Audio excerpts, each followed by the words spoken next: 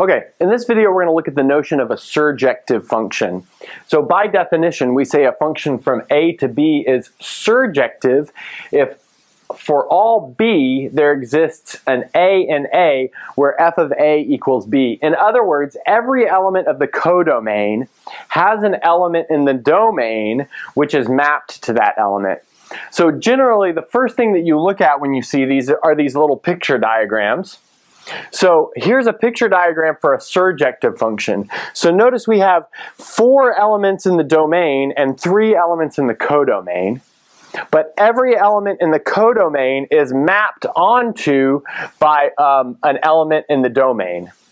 So this one is mapped onto by the first one, the second one by this one down here, and then this third one is mapped onto by two of these guys in the domain. And that's okay. You just have to be mapped on by at least one. But then the second example down here is not surjective because notice this second guy in the codomain is missed. So this first, third, and fourth um, member of the codomain is mapped onto by something over here in the domain, but the second guy is not mapped onto.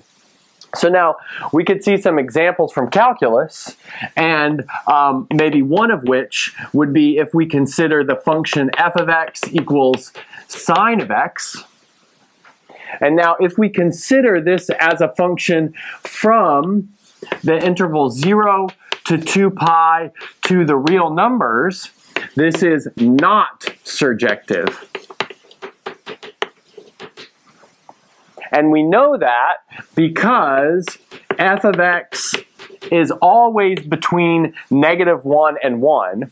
And so, uh, for example, f of x is not equal to 2 for all x. So, in other words, 2 is an element of the codomain that is missed. But we can kind of hack this a little bit and instead view the same function, but now we're going from 0 to 2 pi to the interval negative 1 to 1. And now we know that this is surjective. Because f will achieve every number between negative 1 and 1. And we can actually check that kind of carefully by noticing that sine of pi over 2 equals 1, and then sine of 3 pi over 2 equals negative 1. And so it achieves the largest number in the codomain and the smallest number in the codomain. But then using the fact that sine is continuous and the intermediate value theorem will show that it maps onto every element of the codomain. Okay, good. So I'm going to clean up the board and then we're going to look, look at an outline of a proof um, that a function is surjective. Okay, so let's look at the outline of a proof that some function is surjective. And it's really important that we look at this outline because there's a bit of a trick to it. And so again, our claim is that f is surjective. And notice there's this really important side calculation. So this side calculation is not in the proof. And in fact, the side calculation in reverse will end up in the proof and it will end up in the proof at the end. So let's look at the outline of the proof so we suppose that B is in B, and so B is an arbitrary element. And remember, our goal is to find an element A from the domain that's mapped to B. So we do that via this side calculation. So we solve the equation f of A equals B for A. And so what that will give us is A equals some sort of combination of terms with B. Okay, great. Now we go back to the proof, and when we're writing up the proof, it seems like a little bit magical because what we'll do is we'll consider A equal to just this complicated uh, object involving terms with this uh, B. And so that's what we'll put here, what we got from our side calculation. And the next thing that we want to do is say something like observe that or notice that or something that relays that similar idea that when you plug this value of a, which we've just grabbed from the ether, into our function, we get our arbitrary b from the codomain. And so, and in fact, this calculation right here is the reverse of what we did over here when we solved for A. And so that's how that side calculation shows up here. It shows up in reverse. But this equation right here shows that F is surjective. So again, it's really important to do the side calculation and not include it in the proof except in reverse down here. So when reading these types of proofs, it should always be a little bit surprising when you're reading it from top to bottom that this value of A is just kind of like given. Okay, good. So now I'm going to clean up the board and we're going to look at some examples. Okay, so for our first example, we'll consider the function from r to r given by f of a equals 3a minus 7. So in other words, that's just a line. We want to show that thing is surjective. So let's start our proof here. So our proof is going to start just the same that we looked at in the outline. So let's suppose that we have some element b from the codomain, which is r, and we're going to consider a equals, but now we have to stop because we need to input something from our side calculation. Again, the side calculation won't show up in your solution that you hand in, um, but it's important to do. So let's look at the side calculation. We want to solve 3a minus 7 equals b. Recall we want to solve f of a equals b for a. And so, you know, that's not too hard to do in this case. So we get 3a equals b plus 7, which makes a equal to b plus 7 over 3. Great. So that's the value of a that we're going to consider right here. So we'll say b plus 7 over a. Sorry, over 3. Good. And notice that's going to be a real number um, for any b, just by kind of its uh, obvious fact.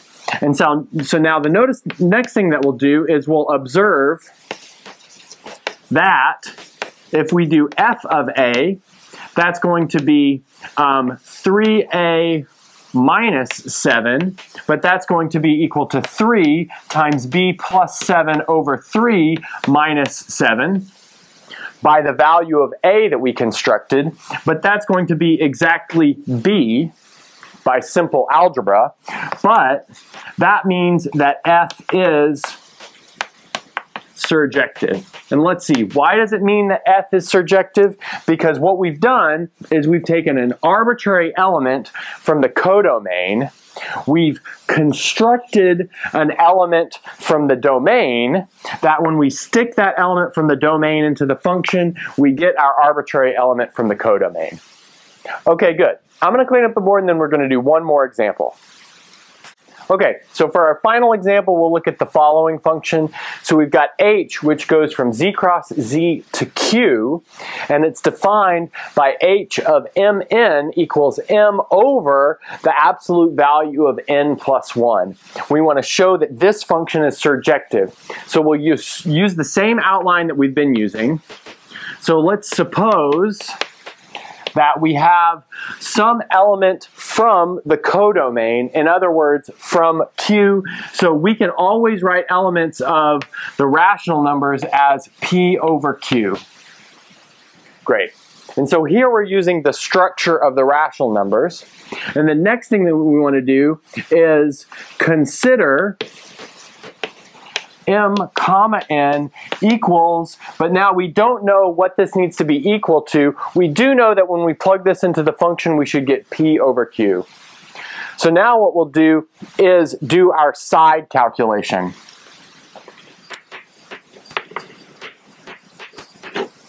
which is setting h of m comma n equal to p over q. In other words, we want to set m over absolute value n plus 1 equal to p over q.